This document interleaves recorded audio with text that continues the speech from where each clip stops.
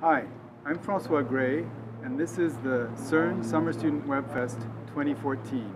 It's the third edition of this Webfest, which is the first ever hackathon at CERN, the place where the web was born. This Hackfest is all about using the web to promote science and to get people involved in science through the internet. And we have summer students from all over Europe and indeed around the world who are here at CERN all summer.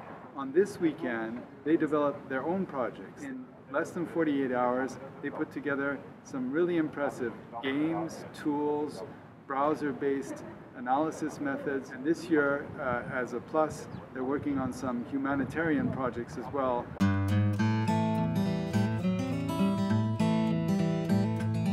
So what uh, happens is that the students get together on Friday evening. Uh, they pitch ideas that they may have for an intense weekend of uh, activity, programming, designing, this sort of thing. And the best ideas attract teams.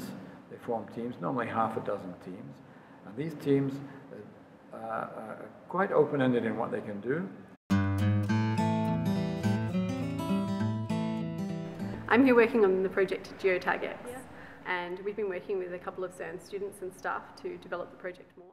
Been fantastic to have everybody face to face working together. We've really been able to progress the project.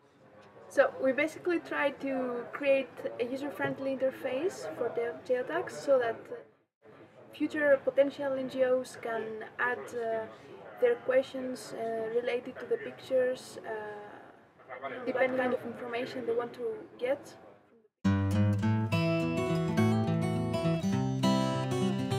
we're making a, an educational browser game basically that is um, based on a game called Cookie Clicker.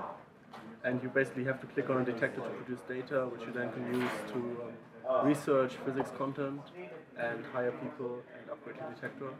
And the idea is that you, well, it's a little bit addictive, so you keep playing, keep playing, and while you keep playing, you um, you can always click on information fields, so to say, and then see stuff, see, see explanations to your physics content, and then um, you learn why you don't realize you learn. So it's a, it's a, sneaky way to get people educated in physics. What we're trying to do is we're trying to make a, a game like like Temple Run um, in the LHC ring, and we have to dodge um, obstacles and have to collect coins in order to fill histograms and find the Higgs.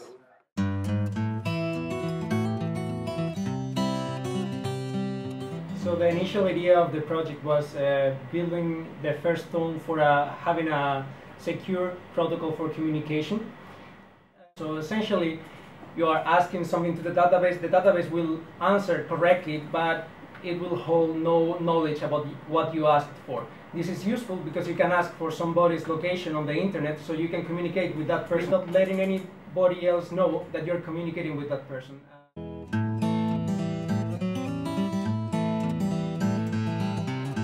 This Webfest is part of a worldwide event, a series of maker parties that uh, Mozilla Foundation is putting together. And uh, we're excited to be associated with this. We're excited because people everywhere who believe in the openness of the internet, the openness of the web, and the openness of science are really showing what they can do. And this is the next generation. They're going to inherit the web, the internet, and the world of science. These students have a lot of fun over the weekend, but they also benefit from being able to work with each other and follow their own whims and fantasies of what they think is really important or fun for other people to do on the web.